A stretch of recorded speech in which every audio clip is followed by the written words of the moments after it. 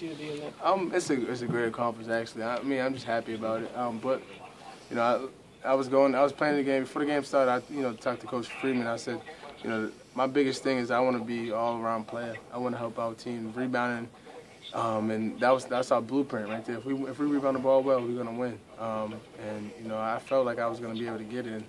Luckily, I you know I was rebounding, I was doing what I had to do, and you know, guys was making shots, making it be- making it easy for me. Um, so, you know, I just feel fortunate to be in you know the company of them guys, and um, just want to keep moving forward. You seem to know. I heard you like giving me the assist. Yeah, yeah, cause I, cause you know, I had a feeling I was close to it. So after um, we got out of the huddle, like four minutes, uh, the four minute media mark, and um, you know, I asked, I said, Freeman, I I need how much I need. He said one and one. I said, oh, I gotta get it. I gotta get it. So, um, you know, I just I had a feeling. Like I said, I had a feeling that all I needed was one and one. So.